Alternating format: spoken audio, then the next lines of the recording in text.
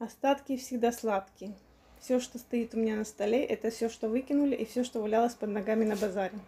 Все, что осталось после распродажи. То, что продавали, то, что скатилось с машин, то, что валялось на асфальте. Забрала все, что смогла унести.